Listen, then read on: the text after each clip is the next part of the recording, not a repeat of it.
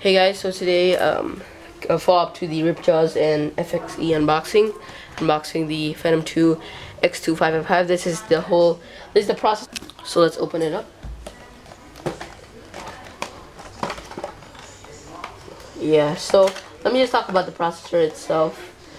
Uh, this, this, um, this can be unlocked to a 4-core, as I said.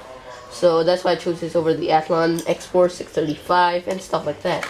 So then we have the processor and the manual over here. The chip itself, very nice. This is the chip that would power my whole build.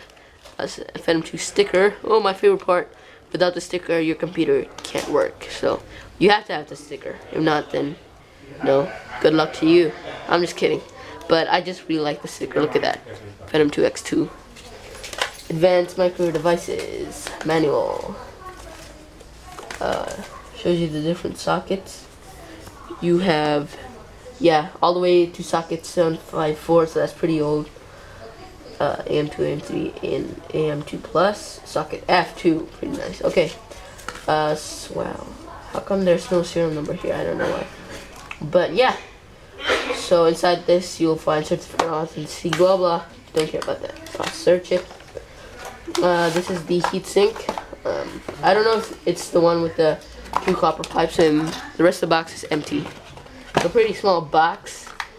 I think it's the standard one. If it's the one with the copper heat pipe, then I'm awesome. I mean, oh, it's not.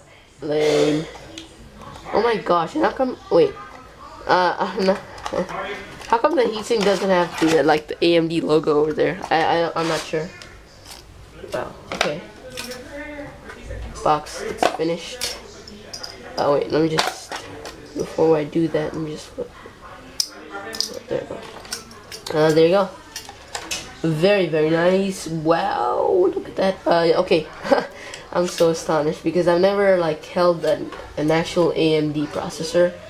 I mean, my dad used them in the past, but I don't know about now. Okay, so a four pin uh, PWM technology, I think. 60 millimeter fan and not very looking heatsink. Oh, and the difference between this and the regular heatsink is that this has like an extension over here, and it's all aluminum, and there's pre-applied thermal compound on the bottom. It's not, it doesn't have a copper core like the Intel, but who cares? And it's slightly heavier than the Intels. Okay, put that back. Yeah, I think. Um. So yeah. Um. I'll be try unlocking this to a four core if I can. But let me just try to open the processor. Let me just smell because I don't want to hurt the processor itself.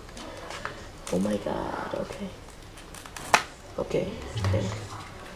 Very closely. Okay. Sorry about the cut guys. The camera ran out of space. So here's the chip itself. Wow, look at that. Look at the pins. Awesome, yeah. Okay. And there's like this uh, foam thingy protect the Phenom 2. I think this is the one with the C3 stepping, but I'm not sure.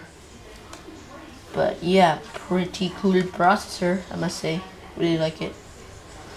Um, yeah, so I think that's bas the basic specs. Runs at two, uh, 3.2, very overclockable, unlock multiplier. It can be unlocked to a 3 core or 4 core. So I think that's basically it. So thanks for watching this um, unboxing, guys. Um, I'll be putting back all these because I'm doing like a how to build a computer type of thing. So pretty nice.